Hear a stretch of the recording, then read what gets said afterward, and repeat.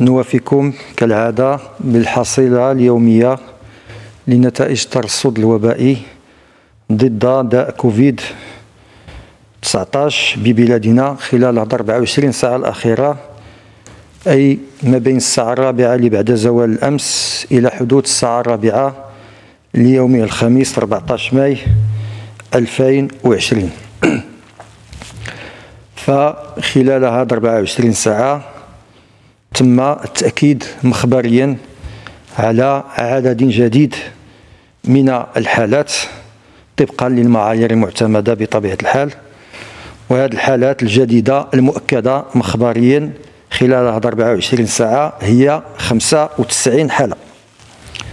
ليصبح العدد الإجمالي للحالات المؤكدة لهذا الداء منذ بداية الوباء ببلادنا إلى حدود اليوم 6607 ديال الحالات.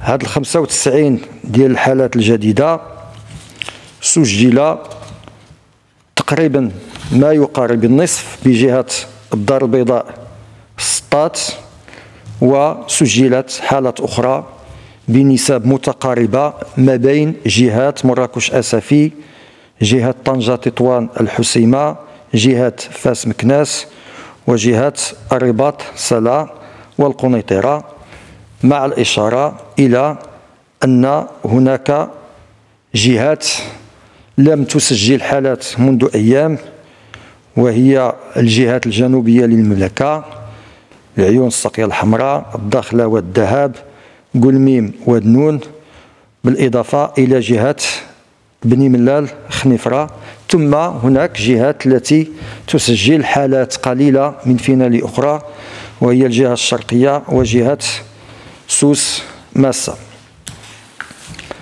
هاد ال 95 ديال الحالات الجديدة تم اكتشاف 81 منها أي بنسبة 86% ضمن عمليات التتبع الصحي والكشف لدى المخالطين.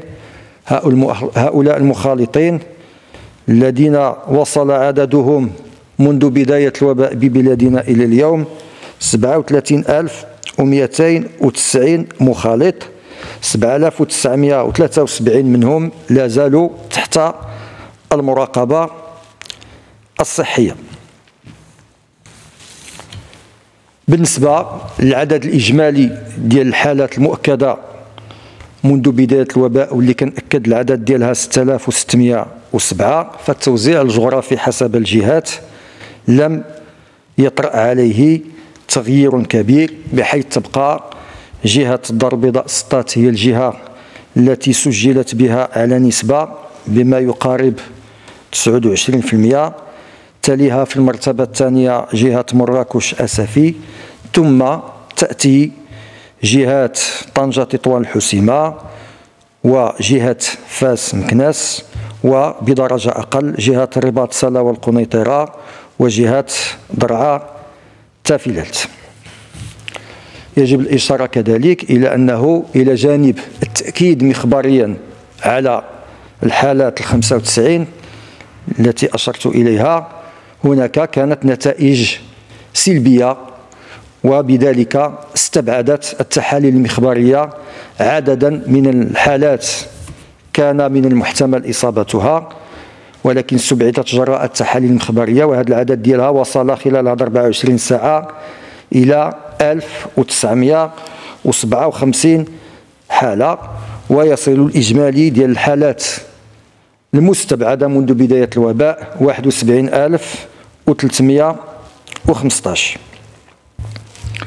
خلال هذه 24 ساعة كذلك سجلنا مع الأسف حالتي وفاة إضافية جراء هذا الفيروس ليصبح بذلك الإجمالي ديال الوفيات منذ بداية الوباء ببلادنا هو 190 وتبقى النسبة المئوية للإماتة منخفضة بحيث أنها وصلت إلى حدود اليوم جوج فاصلة تسعود في المئة. بالنسبة لحالات التعافي سجلنا والحمد لله تماثل 179 حالة إلى الشفاء التام طبقا للمعايير المعتمدة. وبذلك يصل العدد الإجمالي للعدد ديال المتعافين 3310 ونكون اليوم سجلنا بأن عدد المتعافين يفوق عدد الأشخاص الذين لا زالوا تحت قيد العلاج يعني الحالات النشطة وتستمر بحمد الله النسبة المئوية للتعافي في الارتفاع حيث تخطينا عتبة الخمسين في المئة وهذه النسبة أصبحت اليوم هي خمسين فاصلة واحد في المئة.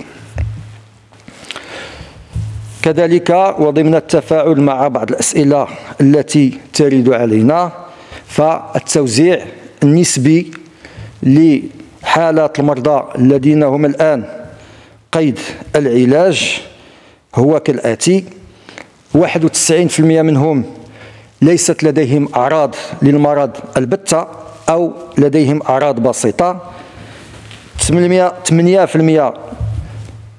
حالتهم الصحية لا تدعو للخطر بسيطة لديهم أعراض بسيطة وواحد في المئة هما اللي الحالة ديالهم الصحية آه، متقدمة أو حرجة. من ضمن الأسئلة كذلك التوزيع حسب السن وحسب الجنس فالمعدل ديال الحالات النشطة التي هي قيد العلاج حاليا معدل السن هو 35 سنة والتوزيع حسب الجنس هو 58% ذكور و 42% إناث. إذا كان هذا كل ما يتعلق بالحالة الوبائية لكوفيد 19 ببلادنا خلال هذا 24 ساعة. والسلام عليكم ورحمة الله تعالى وبركاته.